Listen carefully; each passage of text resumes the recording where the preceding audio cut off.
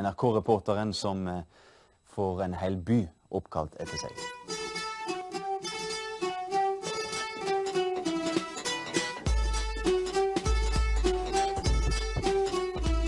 Jeg er ikke egentlig født i Bergen. Nei, jeg ble til i en politikers mareritt. Han het Brezjnev, og han ble gammel når han så at jeg var ekte. For jeg var norsk og immun mot hans diktaturium.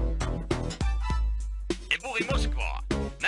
Er ikke Bergen, men her er fanken meg brann. Det går i Gorby og Jeltsin. Jeg kjenner begge to fra gymnaset. Og jeg er beste journalisten her, for jeg lar bare kjeften min mase.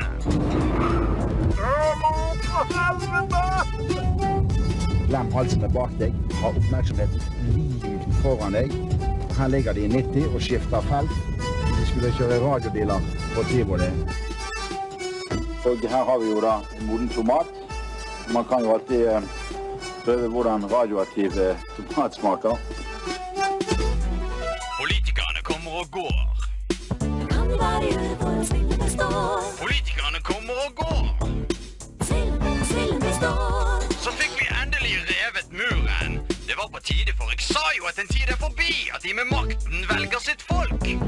Og han opererer uten Og tår. nå er Boris på toppen, og han skal sørge for Han lovet det på puben i går. Skal få seg nytt navn. Jeg syns det har en ganske fin klang. Det som mangler er en kjappere nasjonalsang. Kanskje kan vi få et fisketorg. Her er ikke noen brygge men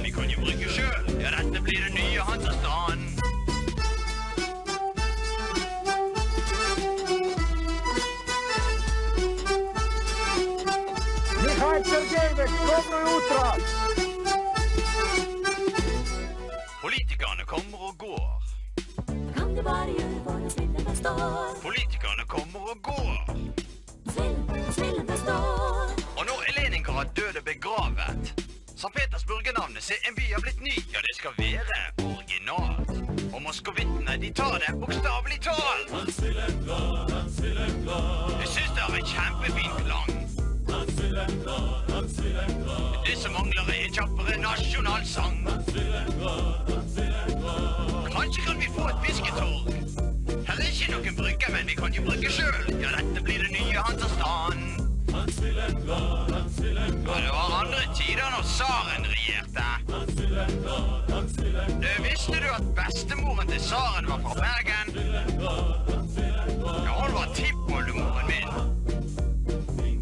Diktet den der uh, nystemten.